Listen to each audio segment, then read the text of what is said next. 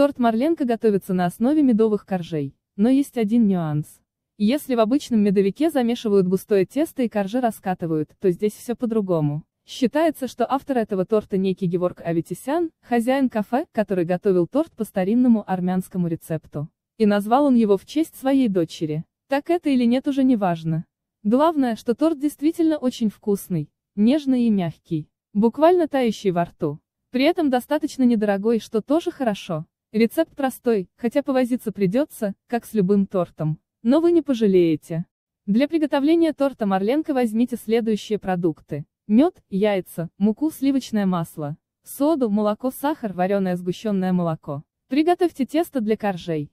В миску выложите сливочное масло и сахар. Добавьте мед. Постоянно помешивая, растопите мед, сахар и масло на водяной бане. Соду погасите лимонным соком или уксусом. Добавьте в тесто. Добавьте яйца и хорошо взбейте. Всыпьте молотую корицу.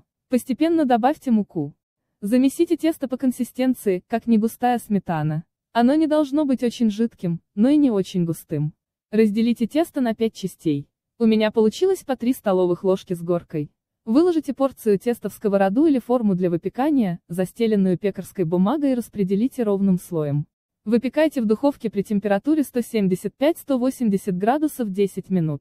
Столовылька потребуется на первый корж. Остальные коржи будут выпекаться быстрее. Хотя все зависит от вашей духовки. Готовые коржи обрежьте. Сварите крем. Для этого молоко налейте в кастрюлю с толстым дном. Поставьте на плиту. Отдельно в мисочке смешайте 2 желтка, 50 грамм сахара и 3 столовые ложки муки. Добавьте несколько столовых ложек холодного молока и перемешайте. Комочков не должно быть. Когда молоко начнет закипать, влейте в него приготовленную смесь. Постоянно помешивая, доведите крем до загустения. После охладите. Добавьте в заварной крем вареное сгущенное молоко.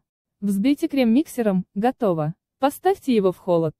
Смажьте коржи кремом. Из обрезков коржей сделайте крошку и посыпьте ею торт.